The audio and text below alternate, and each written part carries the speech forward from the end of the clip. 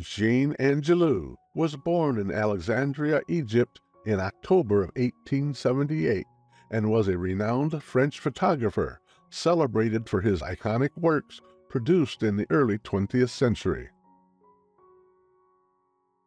Linda Hayden, an English actress in film and television, gained prominence for her performances in British horror films and adult comedies during the 1970s. Francelia Billington began her career as an American silent screen actress before making a successful transition into becoming an accomplished camera operator within the film industry.